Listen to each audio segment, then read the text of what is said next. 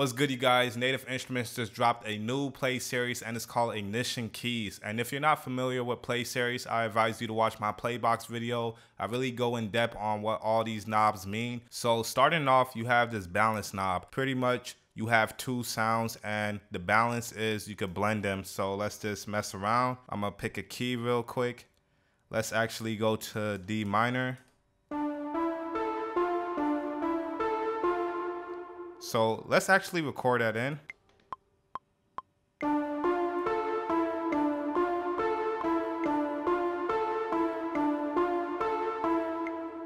Yo, baby, this is just this is just the beginning. So now what we can do is just press play. If I go all the way to the left, it's going to play the space keys.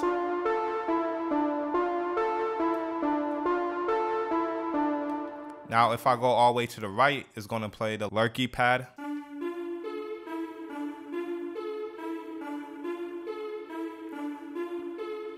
So now you could just decide like what sounds better to you. Do you either want the space keys by itself or a little of the lurky pad? And you could just kind of tweak it like that. And then for cutoff, it's just pretty much your filter.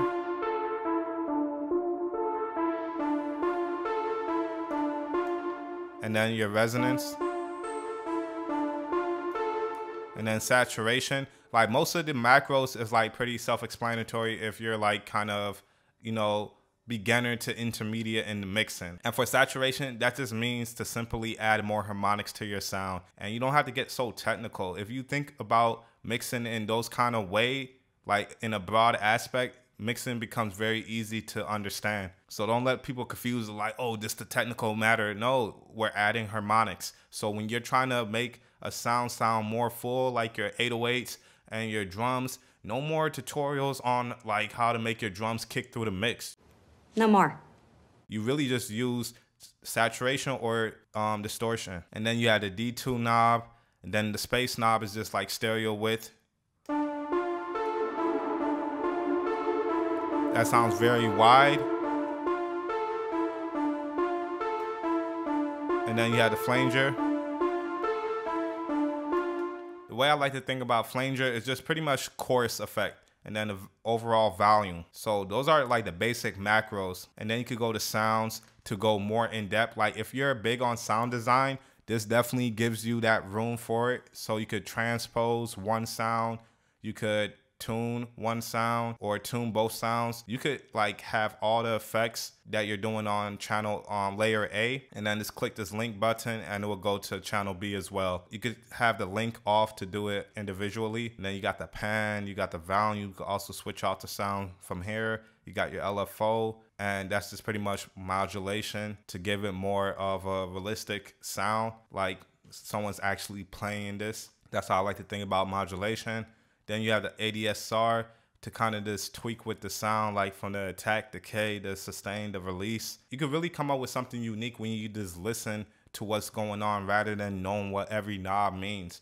But for the most part, that's what it is. You can add a bit of noise, crush, and all these stuff you can just mess around with to make your sound more unique. And then the effects is pretty much self-explanatory. You could go here, switch out the effects. You could also move your effects around and I think it goes left to right because limiter is usually last in your channel. So that's why I'm saying left to right. And then you could also do the same thing, have both of the effects go on one, or you could switch up the effects on one sound. Like this library is very intuitive to just really mess around and get your own sound. And then sequence, just hold on one note and it plays this like an arpeggio kind of um, rhythm. And then the macros is pretty much these features down here and you could just tweak these even more. This is very user friendly, so you could just jump right in and just start creating some crazy sounds. And then you see this dice at the bottom. This just means that you could um, pick randomly through the sounds. So let's just go on and make a beat.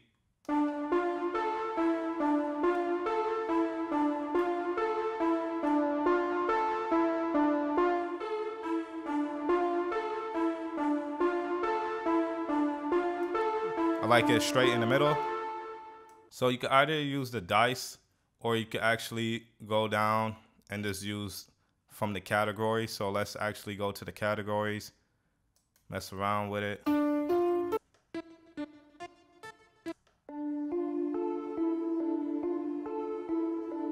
Okay, I'm feeling this one. And then I wanna layer it.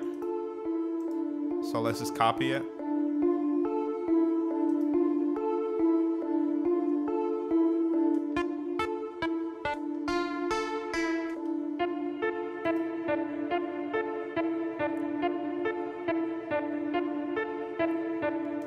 Called Coma. So I pretty much like those. And now we just need like some kind of bass. So yeah, you may see that there's only one bass. Like I said, you could tweak both the sounds. So you could have the actual bass playing and then you could just like switch these sounds out. And I'll show you what I mean. Let's just get a bass pattern going.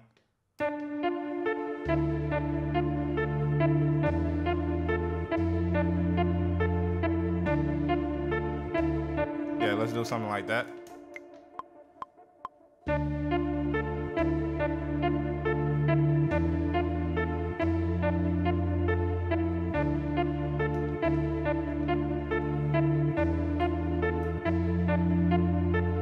So we could just switch out.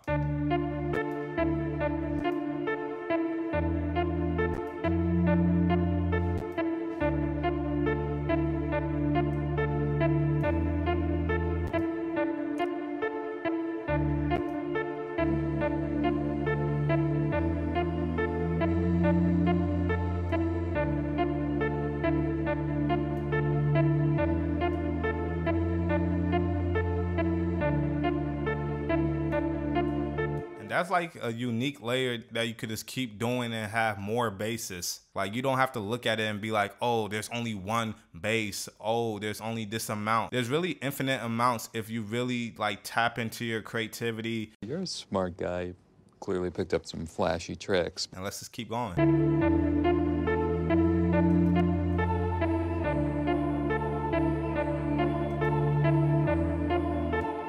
Yeah, that's hard. Let's just add some drums real quick.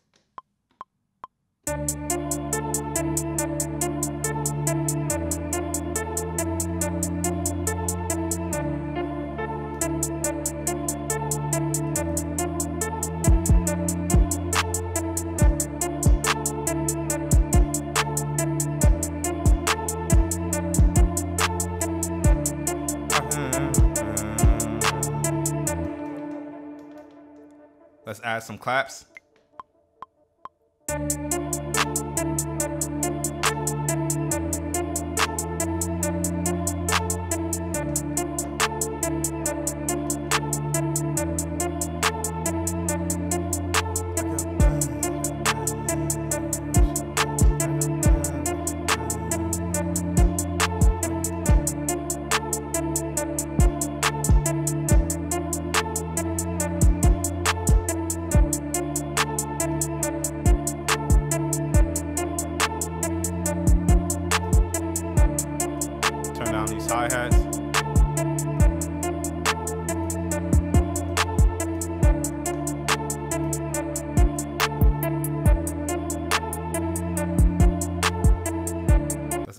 Open hi-hats.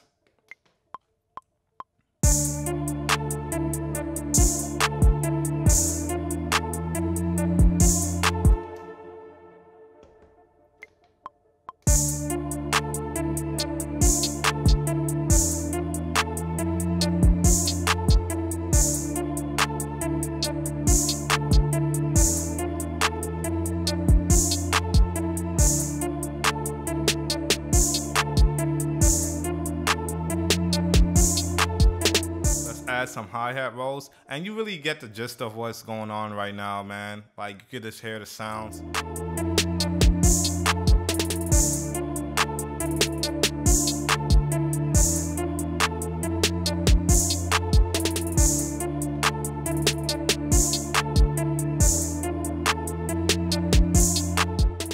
That's kind of hard. I ain't gonna front. So yeah, we could just even go into another beat, see what other sounds they got. So let's just listen to some of the keys.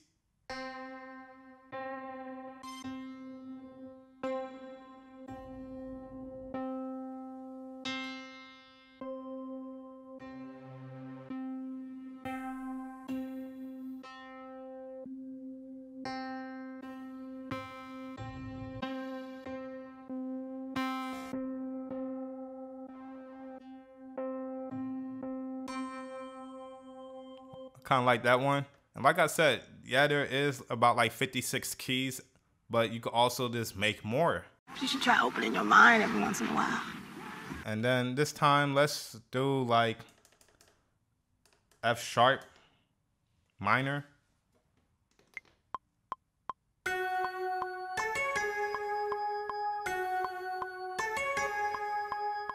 Let's try some pads.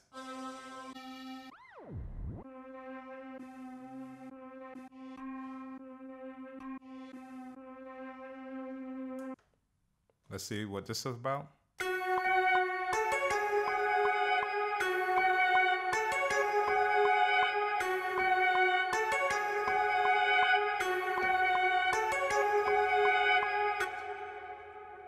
Yeah, we could just add something like that. I say amen to that.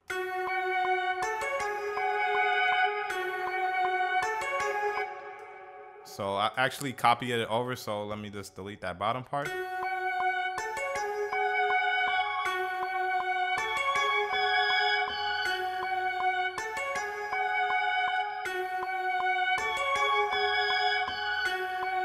Yeah.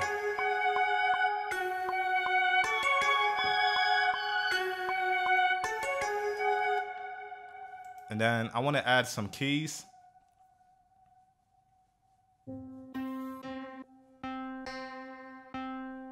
Let's go with the chill vibe.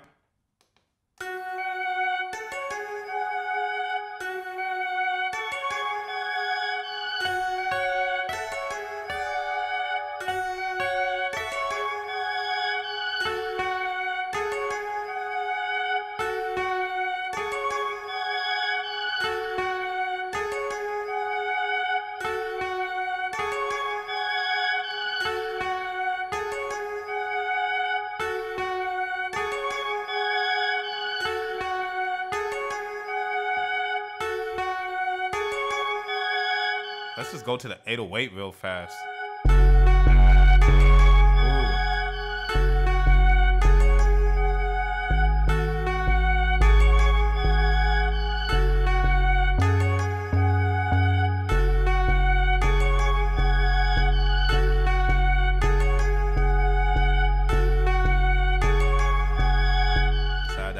Hit. Ah, that's how you do it, kids.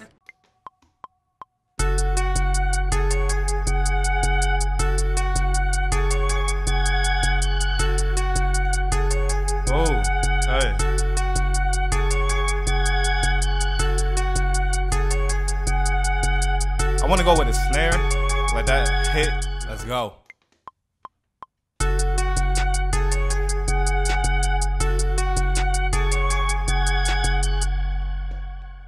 So that snare is kind of quiet. Let's go to the mixer.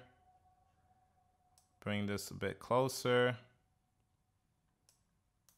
Add some saturation and compression to widen it out. Or cut through the mix, I mean.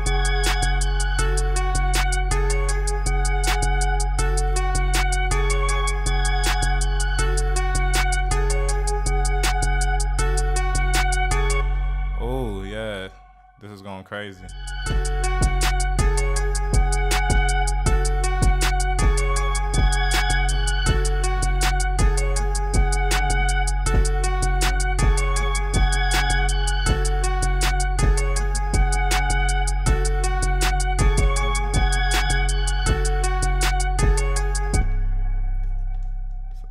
I'm getting hyped right now, pressing all type of buttons. Calm down, calm down. And then let me actually add two more kicks.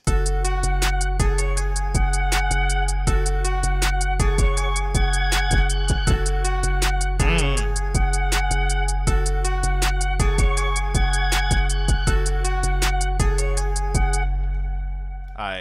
So I'm just gonna mess around and add like another lead sound. So let's go to the synth lead.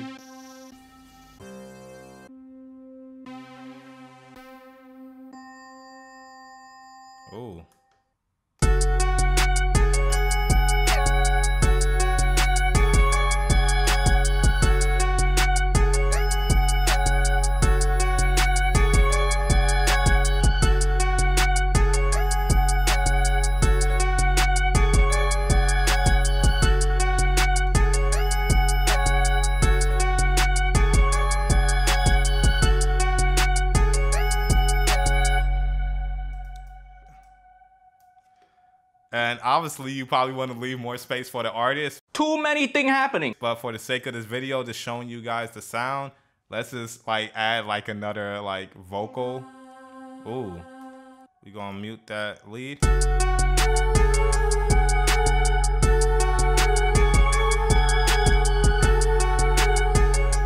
Let's go up an octave.